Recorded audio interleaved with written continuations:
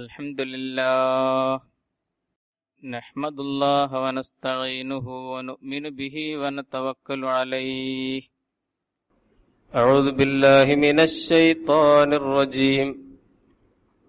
يا أيها الذين آمنوا كتب عليكم الصيام كما كتب على الذين من قبلكم لعلكم تتقون. أياما معدودات. فمن كان منكم مريضا أو على سفر فعدة من أيام أخر. وعلى الذين يطيقونه فدية طعام مسكين. فمن تطوع خيرا فهو خير له. وأن تصوموا خير لكم إن كنتم تعلمون صدق الله العظيم ഇന്ന് ഹിജ്റ ആയിരത്തി നാനൂറ്റി മുപ്പത് ഷാബാ മാസം മുപ്പതാം തീയതി വെള്ളിയാഴ്ചയാണ് പതിനാല് നൂറ്റാണ്ടുകൾക്കപ്പുറം ഹിജ്റ രണ്ടാം വർഷം ഷാബാൻ മാസം രണ്ടാം തീയതി തിങ്കളാഴ്ചയാണ് റമദാനിലെ വ്രതം നിർബന്ധമാക്കപ്പെട്ടത്. ലോകം റമദാനിന്റെ തണലിലേക്ക് പ്രവേശിക്കുകയാണ്. റമദാൻ തണലാണ് എന്ന് വിശദീകരിച്ചത് മഹാനായ നബി കരീം സൊല്ലാഹു അലൈഹി വസല്ലം തിരുമേനി തന്നെയാണ്. ഷാബാൻ മാസത്തിന്റെ അവസാന നാളുകളിൽ സമാഗതമാകുന്ന ആത്മീയ വസന്തത്തിന്റെ നാളുകളെ പരിചയപ്പെടുത്തിക്കൊണ്ട് മഹാനായ പ്രവാചകൻ പറഞ്ഞു അയ്യുഹൻ നാസ് ഖദ് അലല്ലക്കും ഷഹറുൻ അലീം. ഷെഹുറുൻ മുബാറക്കുൻ ഷെഹുറുൻ ഫിഹി ലൈലത്തുൻ ഖൈറുമിൻ അൽഫി ഷഹർ എന്ന്. അല്ലയോ ജനങ്ങളെ നിങ്ങളുടെ മേൽ ഒരു പവിത്ര മാസം തണൽ വിരിച്ചിരിക്കുകയാണ്. അത് ധന്യമാണ് വിശിഷ്ടമാണ്. ആയിരം മാസങ്ങളെക്കാൾ പുണ്യവത്തായ ഒരു രാവുള്ള മാസമാണ്. എന്നൊക്കെ പറഞ്ഞുകൊണ്ട് പ്രവാചകനാണ് റമലാനെ തണൽ എന്ന് പരിചയപ്പെടുത്തിയത്. തീർച്ചയായും ഈ വിശുദ്ധമായ മാസം തണൽ തന്നെയാണ്. ഭൗതിക പ്രമത്തതയുടെ ദുനിയാ സ്നേഹത്തിന്റെ പൊള്ളിക്കുന്ന ചൂടിൽ നമുക്ക് വന്നെത്തിയ ദൈവികമായ കുളിരും തണലുമാണ് വിശുദ്ധ റമലാൻ ഞാൻ വിശദീകരിക്കേണ്ടതില്ല. നിർബന്ധിക്കപ്പെട്ടാൽ എന്നതുപോലെ മനുഷ്യൻ തെറ്റുകളിൽ നിന്ന് തെറ്റുകളിലൂടെ തെറ്റുകളിലേക്ക് സഞ്ചരിച്ചുകൊണ്ടിരിക്കുന്ന പാപങ്ങളുടെ അധർമ്മങ്ങളുടെ ഒരു പ്രളയകാലത്താണ് നമ്മുടെ ജീവിതം. എല്ലാ അർത്ഥത്തിലും ധനം സമ്പാദിക്കാനുള്ള മനുഷ്യന്റെ അതിരുവിട്ട മോഹങ്ങൾ എല്ലാ അതിരുകളും ലംഘിച്ചുകൊണ്ട് എവിടെ അവനെ എത്തിച്ചിരിക്കുന്നു എന്നത് വിശദീകരിക്കേണ്ടതില്ലാത്ത വിധം പരത്തിപ്പറയേണ്ടതില്ലാത്ത വിധം എല്ലാവർക്കും വ്യക്തമായ കാര്യമാണ്. നമ്മുടെ ആവാസ വ്യവസ്ഥ തന്നെ ആകെ താറുമാറായിരിക്കുകയാണ്. ലഹറൽ ഫസാദുഫിൽ ബരിവൽ ബഹിരി ബിമാ കസബത്ത് ഐദിന്നാസ് അവിഹിതമായ മാർഗേണ ധനം സമ്പാദിക്കാനുള്ള പണമുണ്ടാക്കാനുള്ള മനുഷ്യന്റെ മോഹം എല്ലാ മൂല്യങ്ങളെയും തകർത്തെറിഞ്ഞുകൊണ്ട് മുന്നോട്ടു പോവുകയാണ്. സുഖാസ്വാദനത്തിന്റെ തൃഷണ വന്ന മനുഷ്യനെ അധിനിവേശം ചെയ്യുകയും ഏറ്റവും ചെറിയ നിഷ്കളങ്കതയുടെ പ്രായത്തിൽ പോലും ഞെട്ടിക്കുന്ന അപരാധങ്ങൾ ചെയ്യുന്ന രീതിയിലേക്ക് നമ്മുടെ ചുറ്റുപാടുകൾ മാറിത്തിരിഞ്ഞുകൊണ്ടിരിക്കുകയും ചെയ്യുകയാണ്. പത്രം വായിക്കുന്ന നിങ്ങളോട് വിശദീകരിക്കേണ്ടതില്ല. ഒൻപത് വയസ്സുള്ള ബാലൻ ഒഴിവുള്ള ദിവസം നോക്കി ഞായറാഴ്ച അയൽപക്കത്തെ പെൺകുട്ടിയെ മാനഭംഗം ചെയ്യുകയും വളരെ വിദഗ്ധമായി അത് ആസൂത്രണം ചെയ്ത് നടപ്പിലാക്കുകയും എന്നിട്ട് ആ ഒമ്പത് വയസ്സുകാരൻ അറസ്റ്റ് ചെയ്യപ്പെടുകയും ചെയ്ത വാർത്ത കഴിഞ്ഞ ദിവസമാണ് പത്രങ്ങളിൽ വന്നത്. ഹിമാചൽ പ്രദേശിൽ നിന്ന് വന്ന ആ വാർത്തക്കൊരു പ്രത്യേകതയുണ്ട്. അതൊരു തെറ്റ് അല്ലെങ്കിൽ തെറ്റുകളുടെ ലോകത്തൊരു തെറ്റ് സംഭവിച്ചു എന്നതല്ല. നാലും അഞ്ചും എട്ടും ഒമ്പതും ഒക്കെ വയസ്സുള്ള കുട്ടികൾ പോലും ഇത്തരം അരുതായ്മകളെ ഏറ്റവും ആസൂത്രിതമായി കൗശലത്തോടെ അവൻ ബലാത്സംഗം ചെയ്യുക മാത്രമല്ല അതിനുശേഷം ആ കുട്ടിയെ ആറു വയസ്സുള്ള കുട്ടിയെ വല്ലാതെ മർദ്ദിക്കുകയും ചെയ്തു എന്നാണ് റിപ്പോർട്ട്. ഇങ്ങനെ മനുഷ്യൻ മാറിക്കൊണ്ടിരിക്കുന്ന ഒരു ജീവിത ചുറ്റുപാടിൽ പൊള്ളിക്കുന്ന ഈ ഭൗതിക പ്രമത്തതയുടെ സുഖാസ്വാദനത്തിന്റെ ഞെട്ടിക്കുന്ന ലോകത്തേക്ക് ഓരോ ദിവസവും മനുഷ്യന്റെ മനസ്സ് പൊള്ളിക്കൊണ്ടിരിക്കുന്ന ജീവിതാന്തരീക്ഷത്തിലേക്കാണ്. കത് അമല്ലക്കും ഷഹുറുൻ നലീം. റമലാൻ മാസം ദൈവികമായ തണലും കുളിർമയുമായി കടന്നു വരുന്നത് അള്ളാഹു പ്രകൃതിയിൽ നിശ്ചയിച്ച എല്ലാ വ്യവസ്ഥകളും അതിലംഘിച്ചുകൊണ്ട് മനുഷ്യൻ അതിരുകവിച്ചിലിന്റെ പുതിയ മേച്ചിൽപുറങ്ങൾ കണ്ടെത്തിക്കൊണ്ടിരിക്കുമ്പോൾ ഭൂമിയുടെ ആവാസ വ്യവസ്ഥയാകെ താറുമാറായി. അക്ഷരാർത്ഥത്തിൽ തന്നെ മനുഷ്യനെ പൊള്ളിക്കുന്ന ഒരു സ്ഥിതിയിൽ എത്തിച്ചേർന്നിട്ടുണ്ട്. നമ്മൾ ഗ്ലോബൽ വാർമിംഗ് എന്നൊക്കെ പറയും. ആഗോള താപനം ഭൂമി പൊള്ളുകയാണ്. ഭൂമിക്ക് പനിക്കുകയാണ്. കാരണം റബ്ബ് സുബാനുഭവത്താല നിശ്ചയിച്ച വ്യവസ്ഥകളെ തകിടം മറിക്കുന്ന രീതിയിൽ മനുഷ്യനവന്റെ സ്വാർത്ഥത്തെ ഊതി തീർപ്പിച്ചുകൊണ്ട് സുഖാസ്വാദനത്തിനും പണസമ്പാദനത്തിനും വേണ്ടി പ്രകൃതിയുടെ വ്യവസ്ഥകളെ തന്നെ തകർത്തുകൊണ്ടിരിക്കുന്നു. ഓസോൺ പാളിക്ക് ഓട്ട വീഴുന്നു ധാരാളം പ്രകൃതി വിരുദ്ധമായ കർമ്മങ്ങൾ നിരന്തരം സംഭവിച്ചുകൊണ്ടിരിക്കുന്നു. അള്ളാഹു വളരെ ഭംഗിയായി സന്തുലിതമായി പടച്ചുവെച്ച അവന്റെ പ്രപഞ്ചത്തിന്റെ വ്യവസ്ഥയെ മനുഷ്യൻ തകർത്തുകൊണ്ടിരിക്കുന്ന അതുകൊണ്ട് ഭൂമിക്ക് പനിച്ചുകൊണ്ടിരിക്കുന്ന അക്ഷരാർത്ഥത്തിൽ തന്നെ പൊള്ളിക്കുന്ന ഒരു കാലത്തേക്കാണ് കത് അലല്ലക്കും ഷഹുറുൻ അലീം വിശിഷ്ടമായ പവിത്രമായ ഈ മാസം തണൽ വിരിച്ചുകൊണ്ട് കടന്നു വരുന്നത്. പാപത്തിന്റെ പ്രളയം ഒരു ഭാഗത്ത് സംഭവിച്ചുകൊണ്ടിരിക്കുമ്പോ പുണ്യങ്ങളുടെ ഒരു പൂക്കാലമായിട്ട് റമലാൻ വരികയാണ്. അക്ഷരാർത്ഥത്തിൽ ആകാശങ്ങളിലും ഭൂമിയിലും ആത്മീയതയുടെ വസന്തം സംഭവിക്കുകയാണ്.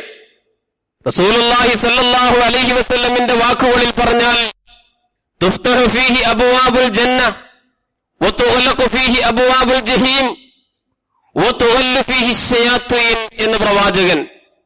അതാ സ്വർഗത്തിന്റെ വാതായനങ്ങൾ മലർക്കെ തുറക്കപ്പെടുന്നു നരകത്തിന്റെ കവാടങ്ങൾ കൊട്ടിയടക്കപ്പെടുന്നു പിശാചുക്കളെല്ലാം ബന്ധനസ്ഥരാക്കപ്പെടുന്നു എന്ന് പറഞ്ഞാൽ വളരെ യാന്ത്രികമായി അതൊക്കെ സംഭവിക്കുന്നു എന്നല്ല അതിനർത്ഥം.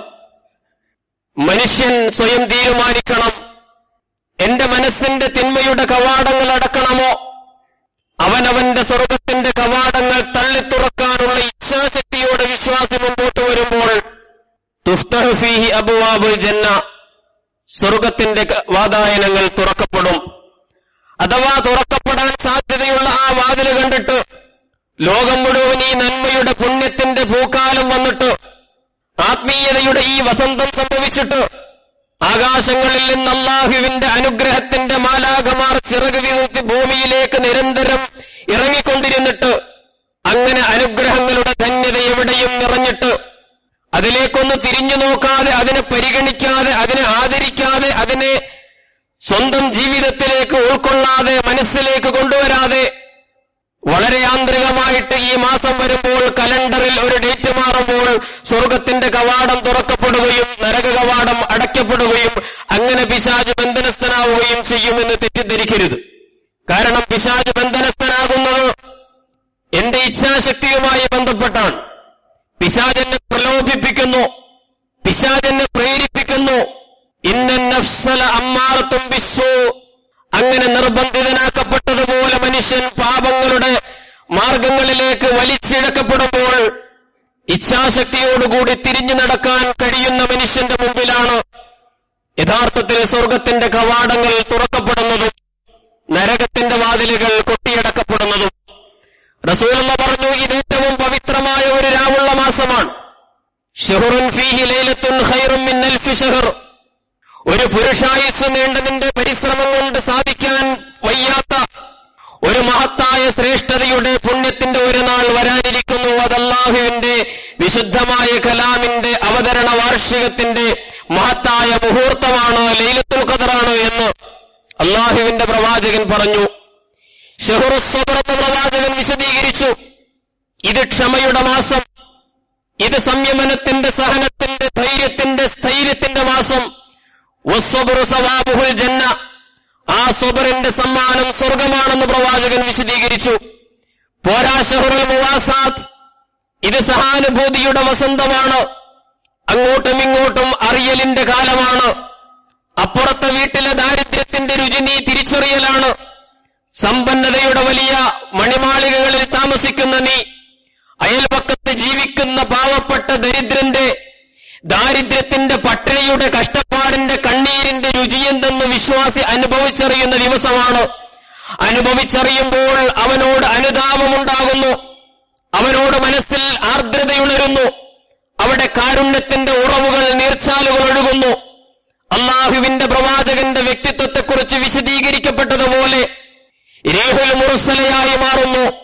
അടിച്ചു വീശുന്ന ഒരു കാറ്റുപോലെ ഏറ്റവും സാധുവും നിസ്സാരവുമായ ഒരു പുഴത്തുമ്പിനെ പോലും ഒരു പുൽനാമ്പിനെ പോലും തഴുകിത്തലോടി കടന്നുപോകുന്ന ഒരു കാറ്റുപോലെ സമൂഹത്തിൽ ഏറ്റവും അടിച്ചമർത്തപ്പെട്ടവനെയും പരിഗണിക്കുന്ന ഒരു ഉദാരതയുടെ മനസ്സ് നിന്റെ ഉള്ളിൽ നിന്ന് ഉറപൊട്ടിയൊഴുകുന്ന ഷഹുറുൽ മുവാസാദ് സഹാനുഭൂതിയുടെ വസന്തമാണ് കടന്നു വരുന്നത്. ഇങ്ങനെയുള്ള പുണ്യങ്ങളുടെ പൂക്കാലം നിന്റെ കീഴിൽ കീഴിലൊരു ജോലിക്കാരനുണ്ടെങ്കിൽ നിന്റെ വീട്ടിലൊരു ഭൃത്യനോ വൃത്തിയോ ഉണ്ടെങ്കിൽ ആ പാവപ്പെട്ട സാധുവിനോട് അവന്റെ ജോലിയിൽ ഇളവ് നൽകാൻ മാത്രം നിന്റെ ആർദ്രത ഉറപൊട്ടിയൊഴുകുന്ന കാലം പ്രവാചകൻ വിശദീകരിച്ചു.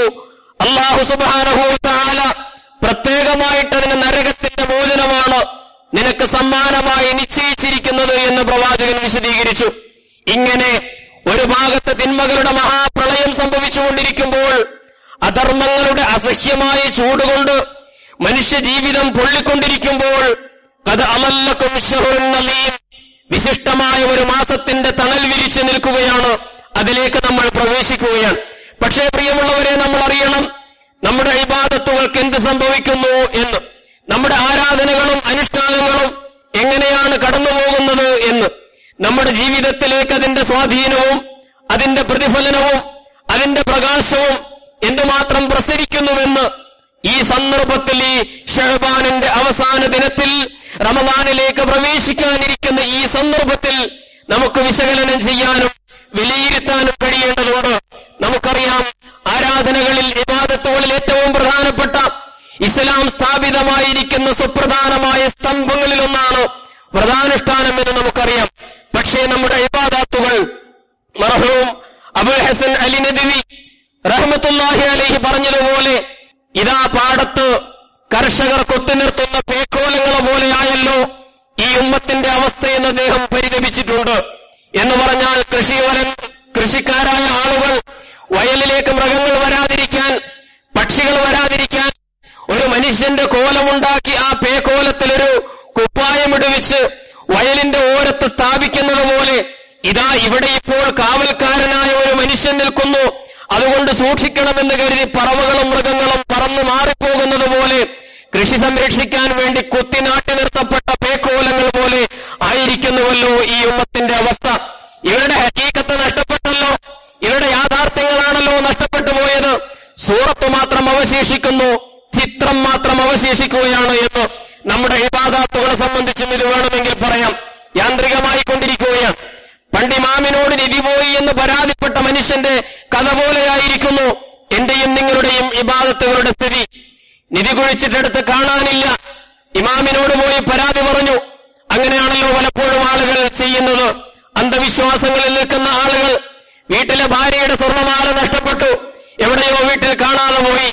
ഉടനെ അവിടെ പരതുന്നതിന് പകരം തങ്ങളോട് ചെന്ന് പറയുകയാണല്ലോ തങ്ങൾ പാപ്പ വീട്ടിലെ മാല പോയി. എന്താണ് പരിഹാരം?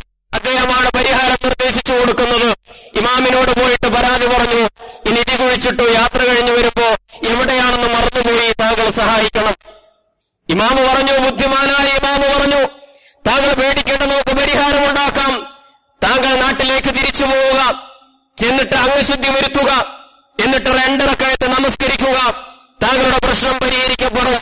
ഇദ്ദേഹം ചെന്നു ഉളുവെടുത്തു നമസ്കരിക്കാൻ കൈകെട്ടി തകബീറത്തുൽ ഇഹ്റാം അള്ളാഹു അക്ബർ എന്ന് പറഞ്ഞതോടുകൂടി എവിടെയാണ് തന്റെ നിധി കുഴിച്ചിട്ടതെന്ന് വളരെ കൃത്യമായിട്ട് അദ്ദേഹത്തിന് ഓർമ്മ വന്നു. വല്ലാത്ത സന്തോഷമായി ഭാവത്തിന് ഓടി ഇമാമിന്റെ മുമ്പിൽ വന്നു. അല്ലയോ താങ്കൾ എന്നെ സഹായിച്ചതിൽ എനിക്ക് വല്ലാത്ത എനിക്ക് പറഞ്ഞറിയിക്കാനാവാത്ത ആഹ്ലാദമുണ്ട്. എങ്ങനെ താങ്കൾക്ക് മനസ്സിലായി?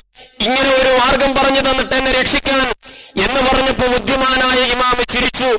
അദ്ദേഹം പറഞ്ഞു എനിക്ക് എനിക്കറിയാമായിരുന്നു.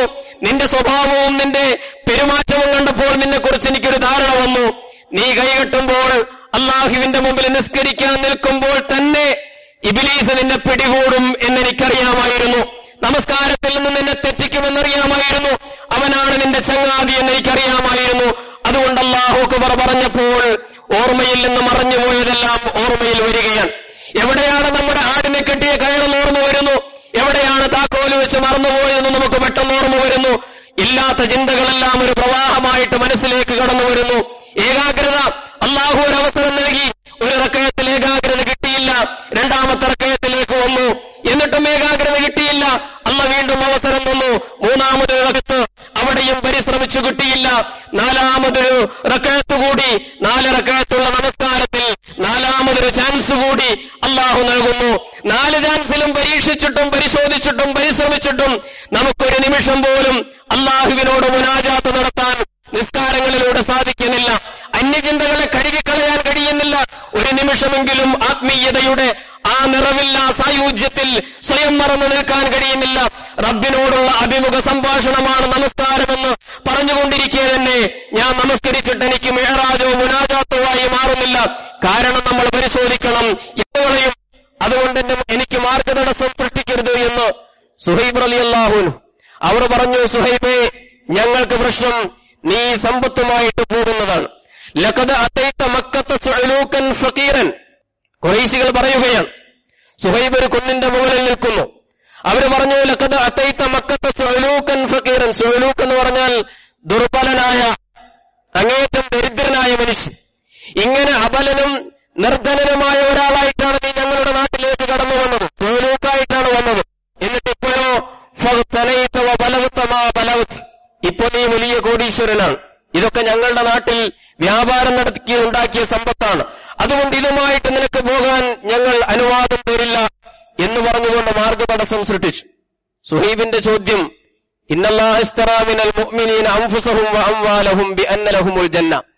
സ്വർഗത്തിന് പകരമായിട്ട് എല്ലാം കൊടുത്തു എന്ന് പറഞ്ഞ വിശ്വാസികളുടെ സമാജത്തിൽപ്പെട്ടയാളാണ് അദ്ദേഹം.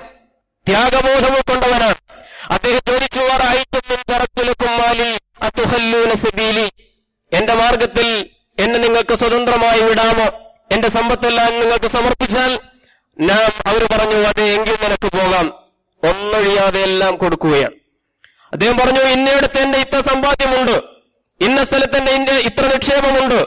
നിങ്ങൾ എടുത്തുകൊള്ളൂ എന്ന് പറഞ്ഞിട്ട് ആ രഹസ്യ വിവരങ്ങളെല്ലാം വെളിപ്പെടുത്തി. ഉടുത്ത വസ്ത്രമല്ലാതെ മറ്റൊന്നും കയ്യിലില്ലാതെ അദ്ദേഹം മദീനത്തേക്ക് പോവുകയാണ്.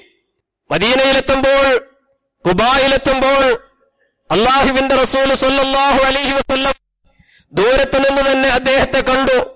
പ്രവാചകൻ പറഞ്ഞു റബിഹൽ റബിഹൽ വ്യാപാരം വിജയകരമായി. നീ നടത്തിയ ഇടപാടുണ്ടല്ലോ അത് ഒമ്പിച്ച ലാഭമായി എന്ന് പ്രവാചകൻ വിളിച്ചു പറയും. അദ്ദേഹം അത്ഭുതപ്പെട്ടു.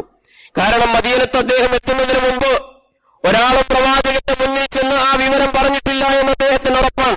വല്ലാഹി മാ സബഖനി ഇലൈക يا رسول റസൂലല്ലാഹ് വമാ അഖ്ബറക ബിഹി ഇല്ലാ ജിബ്രീൽ ജിബ്രീൽ താങ്കൾ അറിയിച്ചതാണ് എന്ന് എനിക്കറിയാം സുഹൈബിന് കാര്യം മനസ്സിലായി. അള്ളാഹു അറിയിച്ചു കൊടുക്കുകയാണ് പ്രവാചകനെ സുഹൈബിന്റെ കാര്യം. അങ്ങനെ പ്രവാചകൻ സല്ലല്ലാഹു അലൈഹി വസല്ലം അങ്ങേയറ്റത്തെ സന്തോഷത്തോടു കൂടി അദ്ദേഹത്തെ സ്വീകരിക്കുകയാണ്. ഷഹിദ അലൈഹി ജിബിരിയിൽ ചരിത്രം പറയുന്നു ആ സന്ദർഭത്തിൽ ജിബിരിയിൽ സമാഗതനായി. അള്ളാഹുവിന്റെ റസൂലിന്റെ മുമ്പിൽ ഒരായത്തുമായി ജിബിരിയിൽ വന്നു.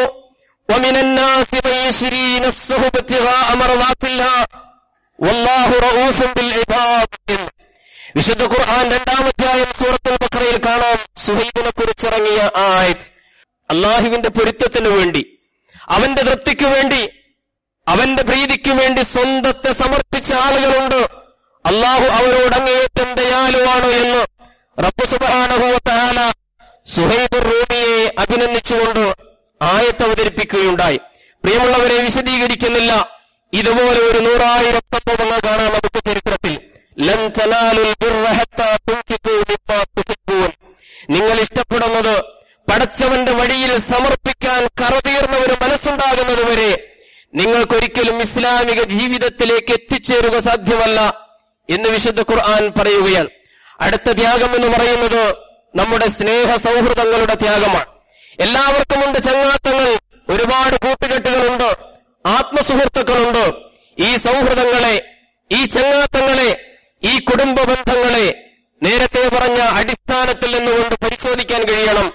വല്ലതീന ആമനോ അശദ്ധ ഹുബല്ലില്ല അള്ളാഹുവിനോടാണ് പരമമായ സ്നേഹമെങ്കിൽ ആ സ്നേഹത്തിന് വിധേയമാണ് ബാക്കി എല്ലാ സ്നേഹവും എന്ന് ഉറപ്പിക്കാൻ ഒരു വിശ്വാസിക്ക് കഴിയുന്നതുവരെ അയാൾ ഈ മാർഗത്തിൽ എത്തിച്ചേരുകയില്ല എന്ന് പറയുകയാണ്. ഒരാളെ സ്നേഹിക്കുന്നു. അയാളുമായിട്ട് ആത്മസൗഹൃദം ഉണ്ടാക്കുന്നു. അത് അള്ളാഹുവിനെ കണക്കാക്കിയാകണം എന്നാണ് ഇസ്ലാമിന്റെ അധ്യാപനം. മൻ അഹബലില്ല മൻ അഹബലില്ല അള്ളാഹുവിന് വേണ്ടി ആരാണ് സ്നേഹിച്ചത്? ഒമൻ അപകമലില്ല അള്ളാഹ്ക്ക് വേണ്ടി ആരാണ് കോപിച്ചത്? ഒമൻ അഴച്ചാലില്ല അള്ളാഹ്ക്ക് വേണ്ടി ആരാണ് കൊടുത്തത്? ഒമൻ മനഅലില്ല അള്ളാഹ് വിചാരിച്ചാർക്കാണ് കൊടുക്കാതിരുന്നത്? ഫക്കതിസ്തക്കുമലൽ ഈമാൻ അവനാണ് ഈമാൻ പൂർണമായവൻ എന്ന് അള്ളാഹുവിന്റെ പ്രവാചകൻ വിശദീകരിക്കുകയാണ്. അവിടെ ബന്ധങ്ങൾ ബന്ധനങ്ങളായിക്കൂടാ സൗഹൃദങ്ങൾ മാർഗതടസ്സങ്ങളായിക്കൂടാ അത് ഉപ്പയാണെങ്കിലും മക്കളാണെങ്കിലും ബന്ധുക്കളാണെങ്കിലും സുഹൃത്തുക്കളാണെങ്കിലും. വിശുദ്ധ ഖുർആൻ അൻപത്തിയെട്ടാം അധ്യായം സൂറത്തുൽ മുജാദില ഇരുപത്തിരണ്ടാമത്തെ വചനം ഈ അർത്ഥത്തിൽ നമ്മൾ പരിശോധിക്കണം. പ്രവാചകന്റെ സഹാബത്ത് കാണിച്ച ഉജ്ജ്വലമായ മാതൃകയെ അഭിനന്ദിച്ചുകൊണ്ട് അള്ളാഹു ഇറക്കിയ ആയത്താണ്. അബൂ ഉബൈദമാര് യുദ്ധക്കളത്തിൽ സ്വന്തം പിതാക്കന്മാരെ വധിച്ചതിനെ സംബന്ധിച്ചാണ് പറയുന്നത്. നമുക്കറിയാമല്ലോ പ്രവാചകന്മാരുടെ ചരിത്രം ഈ ത്യാഗത്തിന്റെ ചരിത്രമായിരുന്നു എന്ന്. ഇബ്രാഹിം അലൈഹി ഇസ്ലാമിന്റെ ചരിത്രം അതിൽ പ്രത്യേകം ശ്രദ്ധേയമാണ്. കാരണം ഉപ്പയോടുള്ള ബന്ധം കൊണ്ട് അദ്ദേഹം പരീക്ഷിക്കപ്പെട്ടു. പുത്രനോടുള്ള ബന്ധം കൊണ്ടും അദ്ദേഹം പരീക്ഷിക്കപ്പെട്ടു. രണ്ട് പരീക്ഷണങ്ങളിലും അല്ല അദ്ദേഹം നേരിട്ട എല്ലാ പരീക്ഷണങ്ങളിലും എന്നാണ് ഖുർആൻ പറഞ്ഞത്. എല്ലാത്തിലും പൂർണമായിട്ട് അദ്ദേഹം വിജയിക്കുകയുണ്ടായി. ഉപ്പയോടുള്ള കലശലായിരുന്നു അദ്ദേഹത്തിന്. അതുകൊണ്ടാണ് ഏറ്റവും വലിയ ചീത്ത പറയുമ്പോഴും യാ അബത്തി എന്ന് ഇബ്രാഹിം വിളിച്ചത്. യാ അബത്തി എന്ന് പറഞ്ഞാൽ ഏറ്റവും വാത്സല്യമുള്ള ബഹുമാനമുള്ള സ്നേഹമുള്ള പ്രയോഗമാണ് എന്റെ പുന്നാര ഉപ്പ എന്ന് വേണമെങ്കിൽ നമുക്ക് മലയാളം പറയാം അങ്ങനെയാണ് ആസറിനോട് മുഷിരിക്കായ ആസറിനോട് പുരോഹിതനായ ആസറിനോട് ആദർശ ശത്രുവായ ആസറിനോട് ഇബ്രാഹിം നബിയുടെ പ്രയോഗം ആ ആസറിന് വേണ്ടി നമുക്കറിയാമല്ലോ ഇബ്രാഹിം നബി അള്ളാഹുവിനോട് ഇസ്തിഫാറിന് വേണ്ടി പാപമോചനത്തിന് വേണ്ടി പോലും പ്രാർത്ഥിക്കുകയുണ്ടായി തെറ്റാണ് അദ്ദേഹം ചെയ്തത് പക്ഷേ അദ്ദേഹം പിതാവിന് വാഗ്ദാനം കൊടുത്തിരുന്നു ഞാൻ അങ്ങേക്ക് വേണ്ടി പ്രാർത്ഥിക്കാമെന്ന് ആ വാഗ്ദാനത്തിന്റെ പൂർത്തീകരണം എന്ന നിലയിൽ ഉപ്പക്ക് വേണ്ടി പ്രാർത്ഥിക്കുന്നു അദ്ദേഹം അത്രമാത്രം ഉപ്പയെ സ്നേഹിച്ചിരുന്നു പക്ഷേ നേരത്തെ പറഞ്ഞ അടിസ്ഥാനവുമായിട്ട് ഏറ്റുമുട്ടിയപ്പോൾ അള്ളാഹുവിനോടുള്ള മഹത്വത്വം ഉപ്പയോടുള്ള മഹത്വത്വം നേർക്ക് നേരെ സംഘർഷത്തിൽ വരുന്നു എന്ന് കണ്ടപ്പോൾ ഇബ്രാഹിം നബി എന്ത് ചെയ്തു ഉപ്പയെ ബഹിഷ്കരിച്ചു എന്ന് വിശുദ്ധ ഖുർആൻ പറയുകയാണ് പിന്നെ സലാം ചൊല്ലി കടന്നു പോവുകയാണ്. അള്ളാഹുവിന്റെ വഴിയിലൂടെ സഞ്ചരിക്കുകയാണ്. മകനെ കൊണ്ട് അള്ളാഹു പരീക്ഷിച്ചു. ഏറ്റവും വലിയ ദൗർബല്യമായിരുന്നു. പക്ഷേ ആ വലിയ പരീക്ഷണത്തിൽ ഒരുപക്ഷെ അതായിരിക്കും ഏറ്റവും വലിയ പരീക്ഷണം. അവിടെ മകനെ കുരുതി കൊടുക്കുക എന്നത് മാത്രമല്ല മനുഷ്യ സമൂഹം അന്നോളം കാത്തു സൂക്ഷിച്ചിരുന്ന ചില മൂല്യസങ്കല്പങ്ങളെ പോലും തിരുത്തുകയായിരുന്നു ഇബ്രാഹിം അലൈഹിസ്സലാം. പുത്രനെ കൊല്ലുക എന്നത് മനുഷ്യന്റെ ധാർമ്മികതക്ക് അംഗീകരിക്കാൻ കഴിയാത്ത ഒരു കാര്യമാണ്. അങ്ങനെ എല്ലാവർക്കും എതിരായ ഒരു കാര്യം. അതുപോലും അല്ല കൽപ്പിച്ചപ്പോൾ പിന്നെ അവിടെ രണ്ടാമതൊന്ന് ഒരു ചിന്ത ഇബ്രാഹിമിന്റെ മനസ്സിലില്ല. അതാണ് ഇബ്രാഹിം ഈ മില്ലത്തിന്റെ സവിശേഷത. നമുക്കറിയാം ചരിത്രം വിശദീകരിക്കേണ്ടതില്ല. പുത്രബലിയിലും അദ്ദേഹം വിജയിക്കുകയാണ് ചെയ്തത്. നൂഹ് നബി ഇസ്ലാമിന് സ്വന്തം ഭാര്യയെ ത്യജിക്കേണ്ടി വന്നു. കാരണം അവർ അള്ളാഹുവിന്റെ മാർഗത്തിലായിരുന്നില്ല. ലോത്ത് അലൈഹി ഇസ്ലാമിന് സ്വന്തം ഭാര്യയെ ത്യജിക്കേണ്ടി വന്നു. നൂഹ് നബിക്ക് ഏറ്റവും വാത്സല്യഭാജനമായിരുന്ന സ്വന്തം മകനെ അള്ളാഹുവിന്റെ വഴിയിൽ ത്യജിക്കേണ്ടി വന്നു. മുഹമ്മദ് നബി കരീം സല്ലാഹു അലഹി വസ്ലമിന്റെ ജീവിതം മുഴുവൻ ത്യാഗത്തിന്റെ ചരിത്രമാണ്. ഞാൻ പറഞ്ഞു വന്നത് ഇന്ന സ്വലാത്തി ഒനുസുഖി എന്ന് പറയുന്ന ഒരു വിശ്വാസി എന്റെ ത്യാഗങ്ങളെല്ലാം പടച്ചവനെ ഞാൻ നിനക്ക് വേണ്ടി സമർപ്പിച്ചു എന്നാണ് പറയുന്നത്. സുപ്രധാനമായ ത്യാഗമാണ്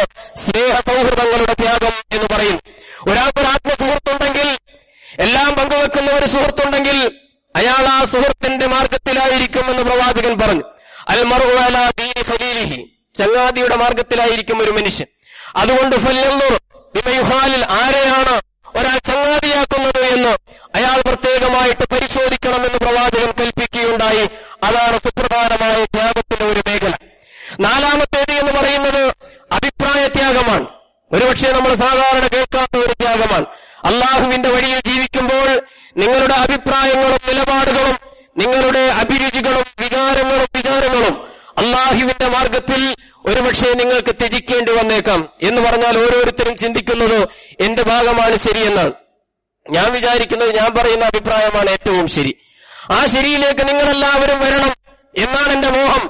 പക്ഷേ അവിടെ നമ്മൾ മനസ്സിലാക്കണം ഒരു സമൂഹമായിട്ട് ജീവിക്കുമ്പോ ഒരു പ്രസ്ഥാനമായി ജീവിക്കുമ്പോൾ ഒരു സംഘമായി ജീവിക്കുമ്പോൾ അവിടെ ചില മര്യാദകൾ പാലിക്കേണ്ടതുണ്ട് എന്നാണ് ദീനുൽ ഇസ്ലാമിന്റെ അധ്യാപനം. നിങ്ങളുടെ അഭിപ്രായം എത്ര വിദഗ്ധമായിരുന്നാലും നിങ്ങളുടെ വീക്ഷണം എത്ര ശരിയായി കുറ്റമറ്റതായിരുന്നാലും നിങ്ങൾ ചിന്തിക്കണം ആ വീക്ഷണം നിങ്ങൾ ത്യജിക്കുന്നത് കൊണ്ട് രക്ഷിതാവായ തമ്പുരാനെ ലംഘിക്കുക എന്ന ഒരു പാപം സംഭവിക്കുന്നില്ലെങ്കിൽ സമാജത്തിനു വേണ്ടി സംഘത്തിനു വേണ്ടി സമൂഹത്തിനു വേണ്ടി നിങ്ങളുടെ അഭിപ്രായം ത്യജിക്കേണ്ടി വരുമെങ്കിൽ ത്യജിക്കേണ്ടി വന്നാൽ അവിടെ യാതൊരു വൈമനസ്യവും കൂടാതെ നിങ്ങളുടെ മാർഗത്തെ നിങ്ങളുടെ അഭിപ്രായത്തെ വേണ്ടെന്ന് വെക്കുവാൻ നിങ്ങൾക്ക് കഴിയണം എന്നാണ് ഇസ്ലാമിന്റെ അധ്യാപനം. പ്രിയമുള്ളവരെ ഇത് കൂടുതൽ പ്രയാസമാണ്. ഞാൻ നേരത്തെ പറഞ്ഞു വന്ന എല്ലാ ത്യാഗങ്ങളിൽ നിന്നും കാരണം അതെല്ലാം മൂർത്തമായ ത്യാഗങ്ങളാണ്. നമുക്കതിന്റെ ഫലം പെട്ടെന്ന് മനസ്സിലാവും. അത് വളരെ പ്രത്യക്ഷമാണ്. അത് വളരെ ബാഹ്യമാണ്. ആ ത്യാഗങ്ങളെല്ലാം അത് ബന്ധങ്ങളുടെ ത്യാഗമാണെങ്കിലും നേരത്തെ പറഞ്ഞ ഏത് ത്യാഗമാണെങ്കിലും. പക്ഷേ ഇവിടെ അമൂർത്തമായ ഒരു ത്യാഗമാണ്. നമ്മുടെ അഭിപ്രായങ്ങൾ നമ്മുടെ ഇഷ്ടങ്ങൾ നമ്മുടെ അനിഷ്ടങ്ങൾ നമ്മുടെ വികാരങ്ങൾ നമ്മുടെ വിചാരങ്ങൾ. ഇത് പക്ഷേ അള്ളാഹുവിന്റെ മാർഗത്തിൽ ത്യജിക്കേണ്ടി വരിക എന്നത് നേരത്തെ പറഞ്ഞതിനേക്കാൾ കുറെ കൂടി പ്രയാസകരമായ ഒരു കാര്യമാണ്. പക്ഷേ ആ അഭിപ്രായ ത്യാഗം വളരെ പ്രധാനമാണ്. അള്ളാഹുവിന്റെ വഴിയിൽ നിങ്ങളുടെ അഭിപ്രായം എത്ര ശരിയാണ് എന്ന് ഉറപ്പുള്ളതോടൊപ്പം തന്നെ സമൂഹത്തിന്റെ നന്മയ്ക്ക് വേണ്ടി പൊതുനന്മയ്ക്ക് വേണ്ടി ആ അഭിപ്രായം തൽക്കാലം മാറ്റിവെക്കേണ്ടി വന്നാൽ മാറ്റിവെക്കാൻ വിശ്വാസിക്ക് കഴിയണം എന്ന അഞ്ചാമത്തെ ത്യാഗം ജീവന്റെ ത്യാഗമാണ്. അതേറ്റവും പ്രധാനപ്പെട്ടതാണ്. നമുക്കറിയാം ഒരാൾക്ക് ഏറ്റവും വലിയ സാക്ഷ്യം നിർവഹിക്കാനുള്ളത് അയാളുടെ ചോര കൊണ്ടും ജീവൻ കൊണ്ടുമാണ്. ഇതാ അള്ളാഹുവിന്റെ വഴിയിൽ എന്റെ ശരീരം എന്റെ ജീവൻ ആവശ്യമുണ്ടെങ്കിൽ നമുക്കറിയാം ഇതിനുള്ള ഭാഗ്യമൊക്കെ അപൂർവമായിട്ട് ആളുകൾക്ക് ലഭിക്കുന്നതാണ്. ഒരിക്കൽ നമ്മൾ സൂചിപ്പിച്ചിട്ടുണ്ട് ഇസ്ലാമിന്റെ മാർഗത്തിൽ സിംഹമായിരുന്ന അള്ളാഹുവിന്റെ വാൾ എന്നറിയപ്പെട്ട മഹാനായ ഖാലിദ് അള്ളാഹുവിന് പോലും ഷഹാദത്തിന്റെ ഭാഗ്യം സിദ്ധിച്ചില്ല എന്ന്. മരണത്തിന്റെ മുഹൂർത്തത്തിൽ അദ്ദേഹം ഖേലിച്ചു പഠിച്ചവനെ ഇത്രയൊക്കെ അള്ളാഹുവിന്റെ വഴിയിൽ നടന്നിട്ടും ഒരു മൃഗത്തെ പോലെ പായിൽ കിടന്ന് മരിക്കാനുള്ള ഒരവസ്ഥയാണല്ലോ എനിക്കുണ്ടായത്. എന്ന് അദ്ദേഹം ചിന്തിക്കുന്നുണ്ട്. ഞാൻ പറഞ്ഞു വന്നത് അള്ളാഹുവിന്റെ വഴിയിൽ സ്വന്തം ചോരയും ജീവനും സമർപ്പിക്കുക എന്ന മഹത്തായ ജീവത്യാഗത്തിന്റെ ഒരു സന്ദർഭം വന്നാൽ അതിന് ഭാഗ്യം കിട്ടിയാലും ഇല്ലെങ്കിലും അത് കൊതിച്ചുകൊണ്ടേയിരിക്കാൻ വിശ്വാസിക്ക് കഴിയണം എന്ന് പ്രവാചകൻ സല്ലല്ലാഹു അലൈ വസല്ലം പറയാറുണ്ട്. എന്ന് പറഞ്ഞാൽ മഹാന്മാരായ പണ്ഡിതന്മാർ ഇപ്പൊ ജീവിച്ചിരിക്കുന്ന മഹാപണ്ഡിതനാണല്ലോ ഷെയ്ഖ് യൂസുഫ് പറഞ്ഞാൽ അദ്ദേഹം പലപ്പോഴും സന്ദർശകരോട് പോകുമ്പോൾ ഒരു വസീയത്ത് എന്ന നിലയിൽ പറയാറുണ്ടത്രേ എനിക്ക് ഷഹാദത്തിന്റെ ഭാഗ്യം കിട്ടാൻ വേണ്ടി നിങ്ങൾ പ്രാർത്ഥിക്കണമെന്ന് പ്രിയമുള്ളവരെ പറഞ്ഞു വന്നത് അള്ളാഹുവിന്റെ വഴിയിൽ ഈ അഞ്ച് തരത്തിലുള്ള ത്യാഗങ്ങളിലൂടെ കടന്നു പോകുന്ന ഒരു മനസ്സ് ആർജിച്ചെടുത്തുകൊണ്ട് മാത്രമേ സ്വർഗത്തിന്റെ വഴിയിൽ മുന്നേറാൻ കഴിയൂ എന്ന് നമ്മൾ അറിയണം. വിശുദ്ധ ഖുർആൻ രണ്ട് മനോഹരമായ ഉപമകൾ നമ്മുടെ മുമ്പാകെ സമർപ്പിച്ചിട്ടുണ്ട്. അതിനെക്കുറിച്ച് സൂചിപ്പിച്ചുകൊണ്ട് ഞാൻ അവസാനിപ്പിക്കുകയാണ്. ഒന്നാമത്തെ ഉദാഹരണം വിശുദ്ധ ഖുർആാനിൽ സൂറത്ത് അള്ളാഹു പറയുന്നു അല്ലാഹ്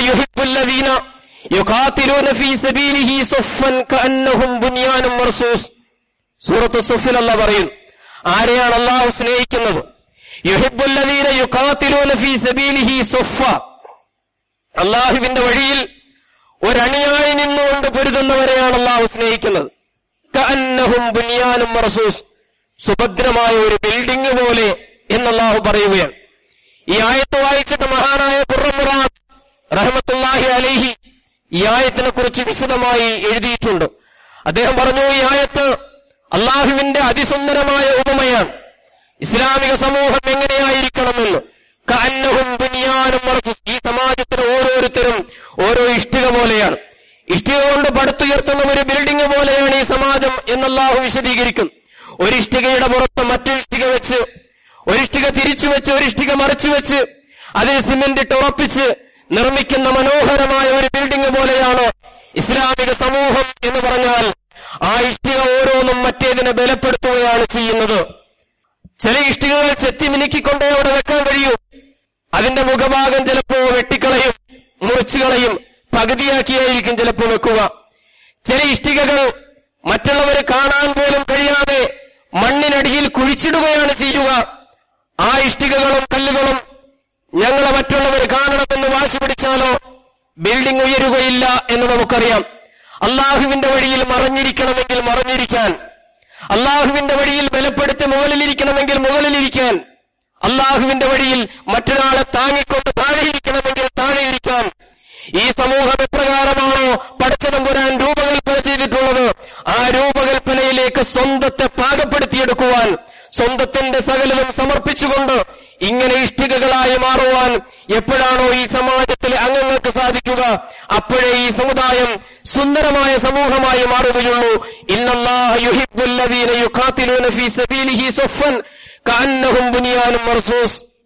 മറ്റൊരു ഉദാഹരണം വിശുദ്ധ ഖുർആൻ പറഞ്ഞത് സൂറത്ത് ഇബ്രാഹിമിലാണ് ഞാൻ ആമുഖമായി പാരായണം ചെയ്ത അള്ളാഹു സുബാന ഇസ്ലാമിക ആദർശവാക്യത്തിന്റെ ഉപമ പറയുകയാണ്. അലം തറ കൈഫ ളറബല്ലാഹു മസലൻ. കലിമത്തൻ തൊയ്യബത്തൻ കശജറത്തൻ തൊയ്യബ. അസ്ലുഹാ സാബിത്തൻ ഫറുഹ ഫിസ്സമാ. തൂതി ഉകലഹാ കുല്ല ഹീനിൻ ബിഇذن റബ്ബിഹാ. വയലിരിബുല്ലാഹുൽ അംസാല ലിന്നാസി ലഅല്ലഹും യതദക്കറൂൻ ആളുകൾ ചിന്തിച്ച് കാര്യം മനസ്സിലാക്കാൻ വേണ്ടി എന്ന് പറഞ്ഞുകൊണ്ട് അള്ളാഹു ഒരു ഉപമ അവതരിപ്പിക്കും. അള്ളാഹുവിന്റെ വാചകത്തിന്റെ വചനത്തിന്റെ ആദർശത്തിന്റെ ഉപമ എന്ന് പറഞ്ഞാൽ കശജറത്തിൻ തൊയ്യബ. ഒരു നല്ല മരം പോലെ എന്നല്ലാഹു വിശദീകരിക്കുന്നു. ആ മരത്തിന്റെ വേരുകൾ ഭൂമിയുടെ ആഴങ്ങളിൽ ആണ്ടിറങ്ങിയതാണ്.